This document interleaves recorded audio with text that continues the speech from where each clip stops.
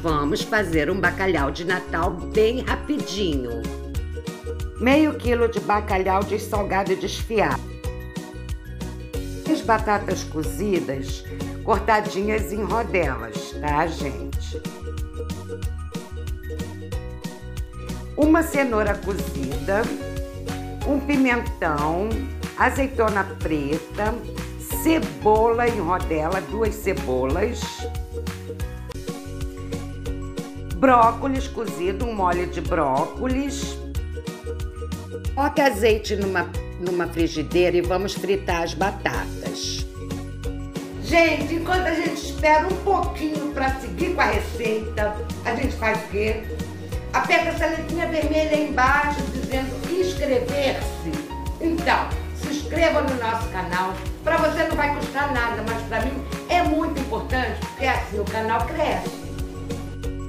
Retire as batatas, coloque numa travessa. E vamos preparar o bacalhau. Coloca azeite, dois dentes de alho e vamos refogar. Coloque a cebola. Misture bem.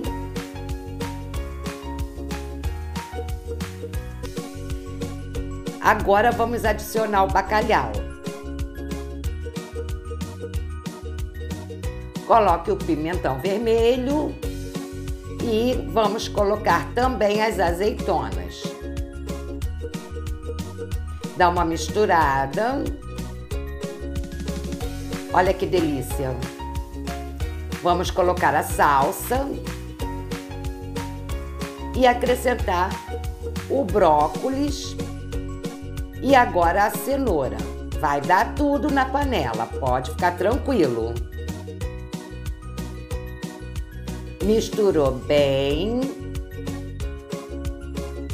Agora vamos arrumar tudo por cima das batatas fritas. Olha que maravilha. Olha que delícia que fica esse bacalhau de Natal.